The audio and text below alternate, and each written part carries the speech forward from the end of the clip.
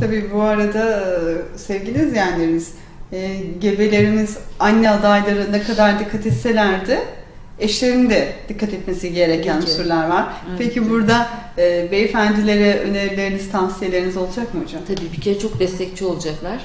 Ee, çok ciddi bir sorumluluk altında olduklarının farkında olacaklar ve anne adayını çok destekleyecekler. Hem duygusal anlamda çok hassas oluyor gebeler hem de gerçekten çok büyük bir yükün altına yani canlarını riske atarak bu işin e, elin taşın altına ellerini koyuyorlar. Ee, günümüzde çok azalmakla birlikte anne bebek ölümleri diye bir şey var. Çok çok ciddi bir şey ve o, o kadınlar o yükün altına büyük bir sevinçle ve e, fedakarlıkla giriyorlar.